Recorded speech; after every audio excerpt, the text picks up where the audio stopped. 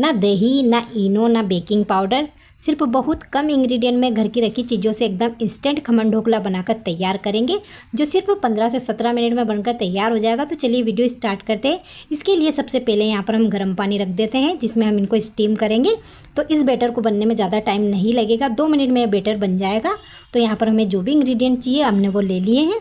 अब एक mixie jar लेंगे यहाँ पर और तीन गिलास लेंगे। इस तरह से गिलास को पहले यहाँ पर ऑयल से ग्रीस करके इनको भी रख देंगे। तो ये सारा काम आप पहले ही कर लें। अब मिक्सी जार ले लेंगे यहाँ पर। तो मिक्सी जार में हम ये जो हमने एक कप बेसन लिया, आप कोई भी कप या कटोरी से मेज़रमेंट करें। मेज़रमेंट से ढोकले को बनाएँगे तो एकदम मज़ेदार ढोकला बनेगा। एक चम्मच शक्कर ऐड कर देंगे। एक चम्मच ही यहाँ पर कुकिंग ऑयल ऐड कर देंगे इसमें। यहाँ पर एक चम्मच सिट्रिक एसिड डाल देंगे। छोटी वाली चम्मच से जिससे मैंने एक चम्मच लिया। अगर आप बड़ी चम्मच से डाल रहे हैं तो आधी चम्मच डालें। स्वाद अनुसार नमक ऐड कर देंगे इसमें। और थोड़ा सा यहाँ पर हम येलो फ़ूड कलर ऐड कर रहे हैं। हल्दी का हम इस्तेमाल नहीं कर रहे हैं इसमें। जो येलो फ़ूड कलर डालेंगे, उससे कलर बहुत अच्छा आएगा।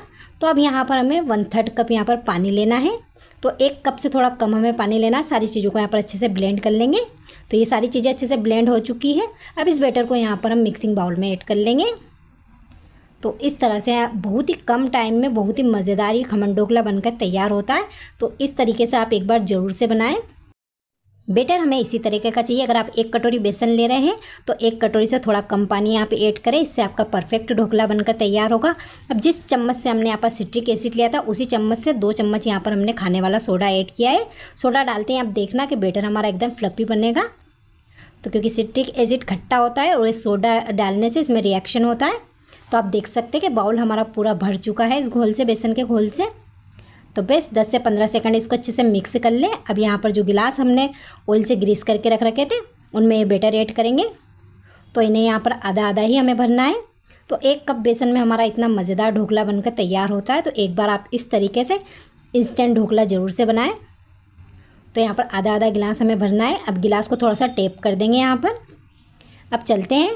बर्तन में स्टीम करेंगे इसको। तो यहाँ पर पानी भी अच्छे से बॉईल हो चुका है। इसी तरह से हम गिलास रख देंगे। इसमें हमने कोई स्टैंड नहीं रखा है। लिड से कवर करके पंद्रह मिनट के लिए मीडियम टू हाई फ्लेम पे हमने इन्हें छोड़ा है। तो यहाँ पर इस तरह से टुपिक लगा के देख लें आप। बेटर बिल्कुल भी निकल के नहीं आ रहा है। तो हमारा ढोकला अच्छे से स्टीम हो चुका है। गैस को बंद कर देंगे। इनको यहाँ पर सावधानी से निकाल लेंगे। और इनको यहाँ पर हल्का ठंडा होने देंगे। गरम गरम में इन्हें गिलास से बिल्कुल भी नहीं निकालेंगे। तो इनको हल्का सा ठंडा होने दें आप। तो इनको थोड़ी सी देर हम साइड में रख देंगे या फिर आप पंखे में रख दें इनको पाँच से दस मिनट के लिए। तो ये हल्के से ठंडे हो चुके हैं। तो इस तरह से आप टेप करेंगे इनको तो ये ईजिली निकल जाएगा ढोकला। आप देख सकते हैं, एकदम जालीदार ढोकला हमारा बनकर तैयार हुआ है। तो इसी तरह से हम सारे गिलास में से ढोकला निकाल लेंगे। तो यहाँ पर एक कप बेसन में आप इतना सारा ढोकला बनाकर तैयार कर सकते हैं, वो भी बहुत कम खर्चे में। तो यहाँ पर ये ढोकला ईजिली निकल गया है तो आप ऑयल को अच्छे से ग्रीस करें गिलास में, जिससे हमारा जो ढोकला होगा वो झट से इसमें से निकल जाएगा। अब इनको यहाँ पर हम कट कर लेंगे गोल गोल पीस में। तो आप यहाँ पर बड़े छोटे पीस अपने हिसाब से इसमें से कट कर सकते हैं। इस तरह से ये दिखने में भी बड़ा शानदार लगता है। तो इस तरह से हम सारे ही कोई कट कर लेंगे। आप देख सकते हैं, काफ़ी अच्छे से जाली बनी है हमारे ढोकले में। ना हमने इसमें इनो का इस्तेमाल किया, ना दही का इस्तेमाल किया है। तो यहाँ पर आप इसी तरह से घर की रखी चीज़ों से इस ढोकले को एक बार ज़रूर बनाएँ। और इसी तरह के मेज़रमेंट से बनाएँगे तो एकदम परफेक्ट ढोकला आपका बनकर तैयार होगा। सारे ढोकले को हमने यहाँ पर प्लेट में रख लिया है। अब इसके लिए यहाँ पर तड़का बनाएँगे तो इस तरह से फ्राई पैन लेंगे। इसमें थोड़ा सा यहाँ पर ऑयल डालेंगे एक चम्मच जितना। ऑयल को यहाँ पर गर्म होने के बाद इसमें थोड़े से राई के दाने और यहाँ पर दो हरी मिर्ची ऐड कर देंगे। और ये थोड़े से सोटी होने के बाद इसमें आधा कटोरी पानी ऐड कर देंगे। एक चम्मच यहाँ पर शक्कर ऐड कर देंगे और एक चम्मच ही नींबू का रस ऐड कर देंगे और यहाँ पर एक पिंच जितना नमक ऐड कर देंगे। ज़्यादा नमक हमें इसमें बिल्कुल भी ऐड नहीं करना है क्योंकि हमने जो ढोकला बनाया है, उसमें भी नमक ऐड किया है। तो यहाँ पर ये एकदम खट्टा मीठा पानी बनकर तैयार होगा। तो पानी हमारा कंप्लीट हो चुका है।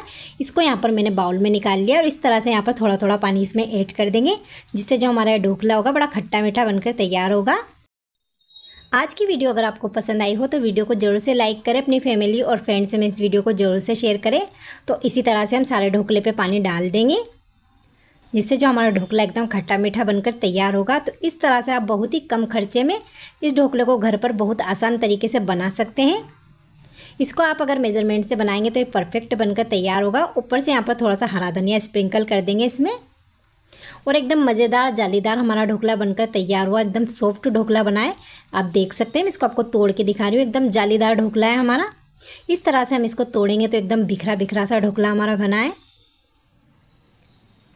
तो अगर आज की वीडियो पसंद आई हो तो लाइक शेयर एंड सब्सक्राइब ज़रूर करें। तो मिलते हैं एक नई रेसिपी में, नई वीडियो के साथ। जब तक के लिए थैंक यू सो मच